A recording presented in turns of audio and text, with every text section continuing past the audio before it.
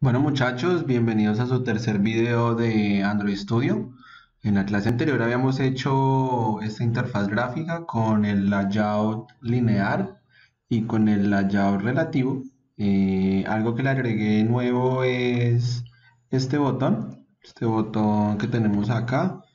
Y lo que va a hacer es sacarnos la aplicación. Está con un match path en content para que quede a lo ancho de la, de la aplicación, eh, un color rojo, un ID BTN salir, un texto salir de 23 SP en negrilla y con un background de ese texto, eh, perdón, con un text color de background eh, blanco. ¿Listo? Entonces esa es como nuestra aplicación. No se nos olvide algo muy importante, es que cada uno de los edit text, lo que va a interactuar con el usuario, tiene un ID. Por ejemplo, el edit text tiene campo 1, edit text campo 2, y los botones tienen BTN suma, BTN resta, BTN multiplicación, BTN división. Lo que vamos a hacer es lo siguiente. Todos los botones deben tener un método que se llama el onClick. Ese método lo que hace es que cuando yo le dé suma, resta, multiplicación o división, tome los dos valores de los campos y nos muestre el resultado en este image view, no, perdón, en ese text view que se llama resultado. Listo, entonces vamos a coger todos los botones y vamos a ir aplicando el método onClick y se va a llamar igual onClick. Listo, él inmediatamente me va a pedir hacer algo, me va a pedir crear ese método en la vista principal o en la clase principal, le damos clic y él lo va creando, ¿vale? Entonces vamos a hacer lo mismo con el botón de, en este caso de resta, dale un clic otra vez. On clic. Listo. Y así sucesivamente ya el evento on clic queda creado y nos va a crear uno para resta, para multiplicación y para división. Listo entonces es importante. Vamos a crearlo otra vez acá. On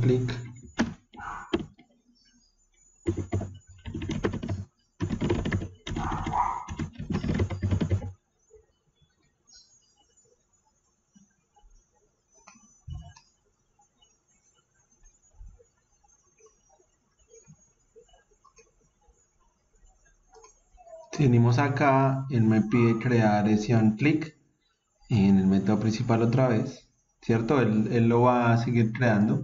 Hay que tener en cuenta que esto se puede llamar como ustedes quieran, o sea, se puede llamar, bueno, perdón, acá lo tengo mal escrito, lo damos on click con doble L,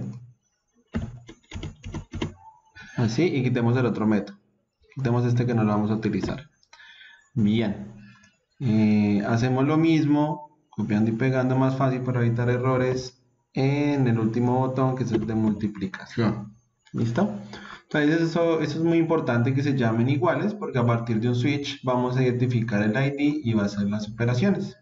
Entonces básicamente eso es lo que trae nuestra eh, interfaz gráfica y que le colocamos de nuevo y vamos a colocar acá en el botón rojo de salir un método click también que se va a llamar salir. Entonces él me va a pedir crear el método principal lo creamos y él me crea salir no básicamente es eso. Eh, esta es nuestra clase principal de java nuestra activity inicial. Aquí estamos en el onCreate que es lo primero que se corre cuando arranca nuestra aplicación. Y lo que tenemos que hacer es traer de tipo objeto cada uno de las etiquetas XML que hay acá, ¿no? Entonces sabemos que esto se llama campo 1 y esto se llama campo 2. Entonces vamos a dar acá un edit text, vamos a decir campo 1, coma, campo, campo 2, ¿cierto? ¿Qué más necesitamos que interactúe con el usuario? Lo que va a interactuar es el resultado. El resultado, el ID que tiene resultado se llama etiResultado. Entonces, eso se llama TextView resultado. ¿Cierto? Entonces siempre tenemos que traer los otros componentes que, con los cuales vamos a interactuar, traerlos cada uno. ¿Qué vamos a hacer acá como para emparentarlos y asociarlos? Entonces dentro del onCreate lo que vamos a hacer es lo siguiente. Vamos a llamar campo 1, ¿cierto? Va a ser igual a una propiedad que se llama findViewById r.id y traemos el valor que viene el XML que en este caso es campo 1 en versiones anteriores de Android había que hacer un casteo aquí no había que hacer esto eh, para que él reconociera que es un edit text. Eh, en esta nueva versión no hay necesidad de hacer ese casteo. Se puede trabajar así. Entonces otra vez campo 2 va a ser igual a findViewById r.id campo 2 listo entonces esa es la manera como emparentar lo que hemos traído con eh, los datos que vienen del otro lado ¿no? Eh, para el text view hay que hacer algo similar que es eh, emparentarlo para que él pueda entender de dónde vienen esos resultados. Entonces eh, resultado va a ser igual a findViewID r.id resultado. Listo entonces básicamente esa es como la como la propiedad que él va a hacer eh, de emparentar lo que hay acá en XML para que tome esos datos y los pueda llevar a la actividad principal y se puedan hacer las operaciones. Básicamente es eso cuando le demos clic en cualquiera de los cuatro botones, debemos saber a cuál botón le estamos dando clic o lo estamos tocando. Entonces para eso vamos a hacer un switch. Eh, view.getID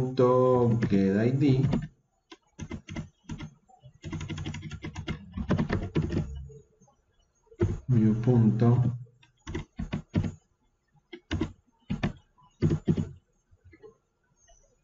Vamos a revisar esa propiedad.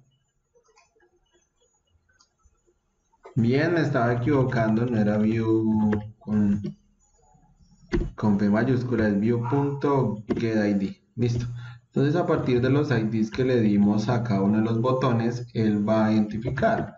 Entonces en este caso, el case que va a llamar viene desde el ID que estamos trabajando en BTN suma, BTN resta, BTN multiplicación en cada uno de ellos. ¿Listo? Entonces para ello vamos a utilizar eh, cada una de las propiedades.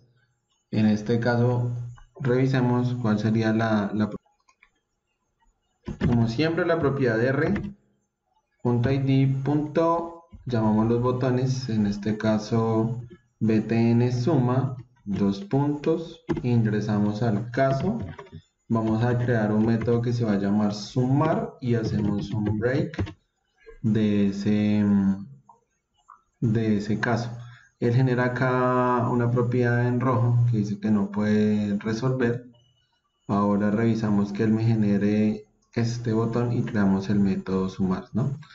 Listo, vamos a hacer lo mismo para el siguiente case. Ubicarlo acá, case r.id.btn resta, dos puntos, restar, abrimos, cerramos, punto y coma, un break. Bien, básicamente es, esa es la propiedad y él va a pedir ahora crear el método principal. Listo. Hacemos lo mismo con la multiplicación. Entonces, case r.id.btn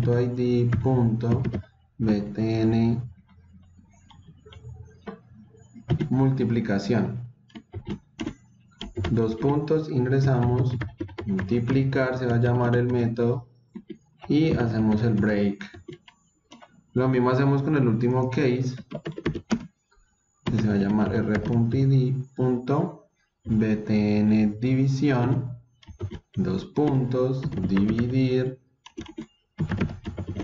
creamos el método y hacemos un break listo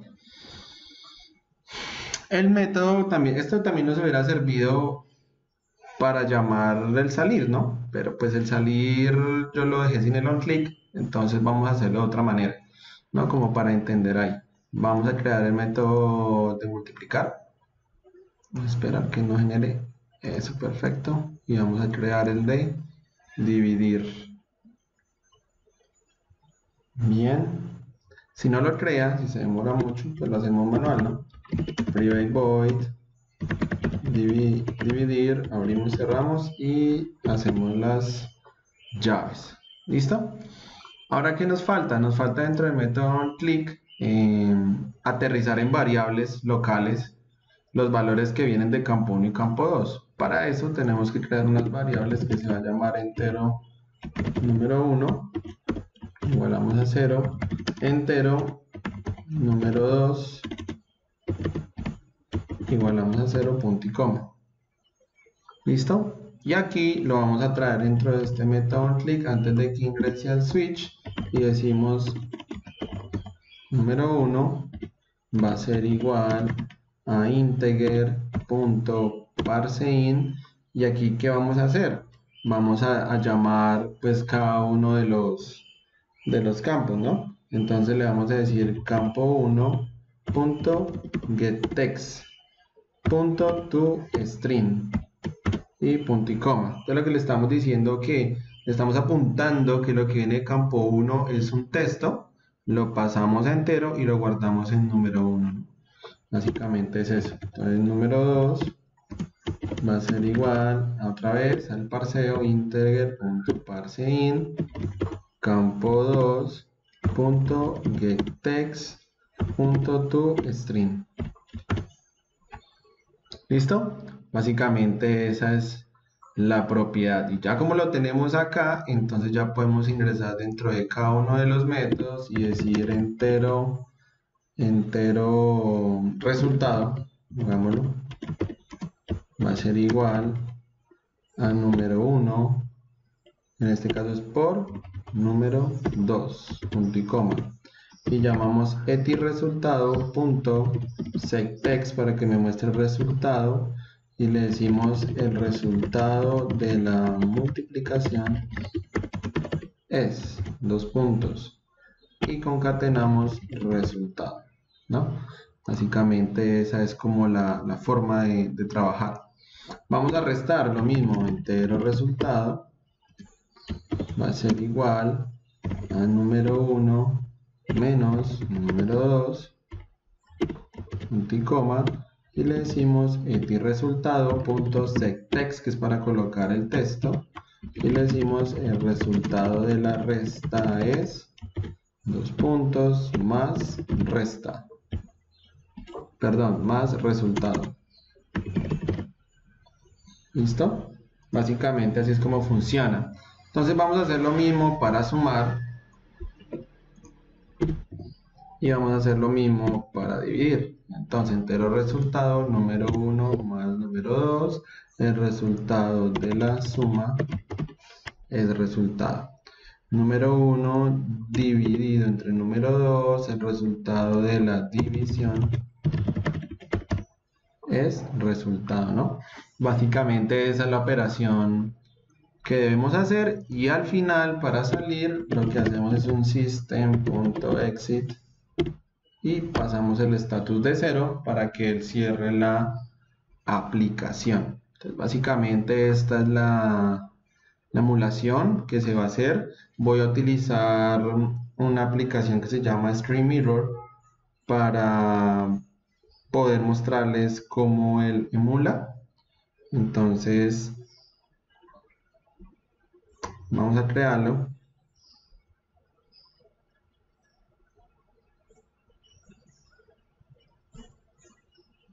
Entonces vamos a ir a la aplicación Stream Mirror App. Stream Mirror App. Vamos a ir a Stream Mirror y ahí hay un código QR con el cual vamos a leer pues para que él emule todo lo que vemos en, en pantalla.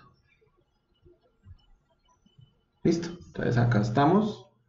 Vamos a cargar la aplicación. Vamos a correr. Ahí está creando el grado está ejecutando y vamos a ver cuando cargue la aplicación. Esta aplicación es muy buena porque permite hacer este tipo de cosas. Entonces Stream Mirror es, es muy buena. Entonces está emulando. Ahí tenemos nuestra aplicación. Eh, vamos a cargar acá número, por ejemplo, 20. Y en el número 2, 2, eh, por ejemplo. Entonces si sumamos, el resultado de la suma es 22. Si restamos es 18. Si multiplicamos es 40, si dividimos es 10. Ahora bien, si yo voy a dividir entre 0, mira lo que está pasando, ¿no? Si yo voy a dividir entre 0, él me genera un error. Entonces, para evitar ese error, lo que tenemos que hacer es una validación acá previa, ¿no? En dividir. Entonces le vamos a decir con un if lo siguiente. Si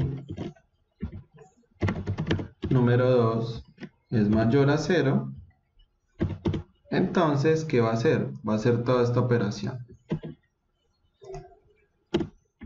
¿Cierto?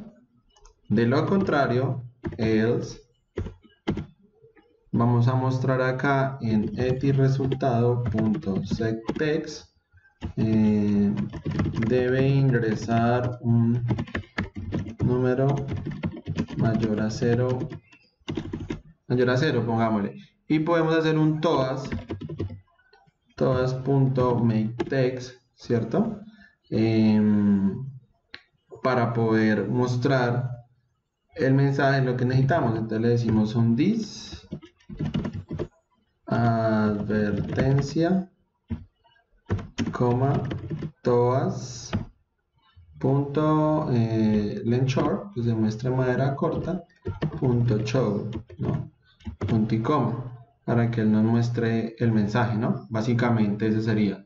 Vamos a volver a correr los cambios, vamos a ir a nuestro emulador de Stream Mirror y vamos a ver cómo corre. Esperemos, a ver, ya la acaba de compilar. La carga de nuevo, entonces si yo voy a dividir 20 dividido entre 2, perdón, entre 0, eh, debe ingresar un número mayor a 0 y me sale la advertencia del TOAS. Y si yo divido entre 4, debería hacerlo. ¿Cuál es la tarea de ustedes para que la complementen? Cambiar esos valores para que nos salieran decimales. Eh, por ejemplo, una división ahí pues dio exacta, pero entre 3 no daría exacta. Entonces vemos cómo multiplica, cómo resta, cómo suma y cómo sale la aplicación con el botón. Entonces, eso es todo.